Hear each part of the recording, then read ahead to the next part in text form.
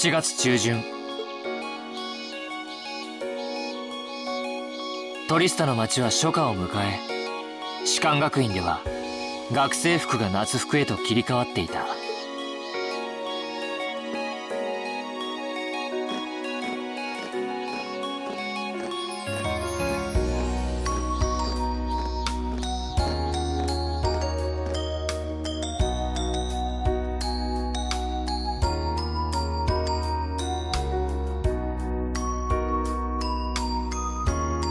ここへ来て俺たちもようやく学院のハードなスケジュールに慣れてきていた。夏の盛りの前まだ暑すぎず過ごしやすく気持ちのいい日々そんな季節ならではの授業も先日から始まっていた。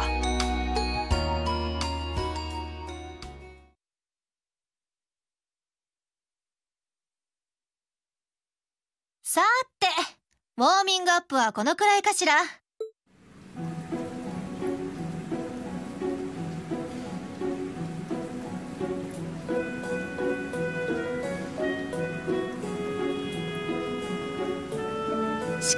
学院におけるこの授業はあくまで軍事推練溺れないこと。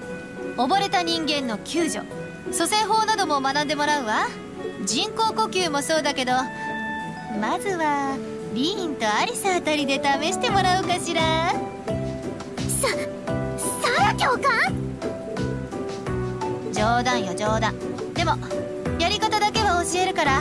いざという時はためらわないように。異性同士でも同性同士だったとしてもね。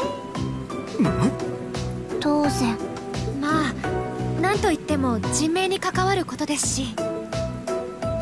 そのあたりの講義が終わったら一度タイムを測らせてもらうわ。ラウラ手伝ってちょうだい。承知した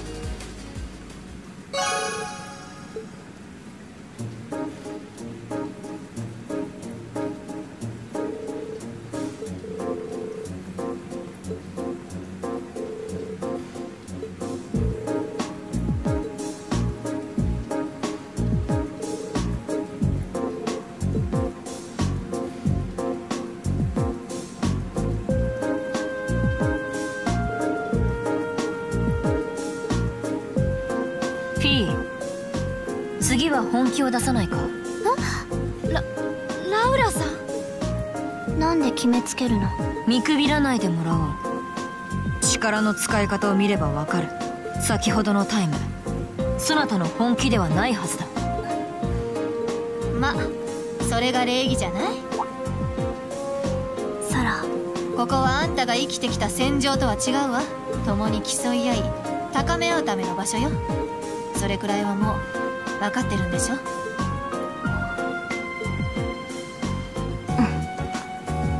よし。それでは始めよう。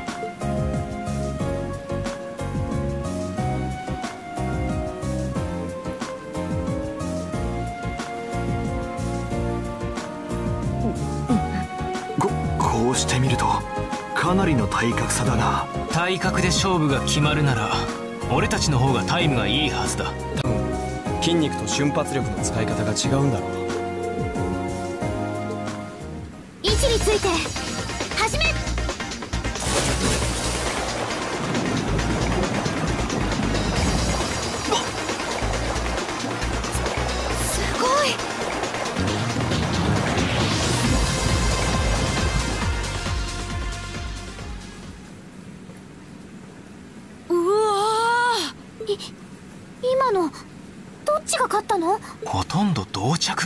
えなかったがいやわずかにラウラが先だったな。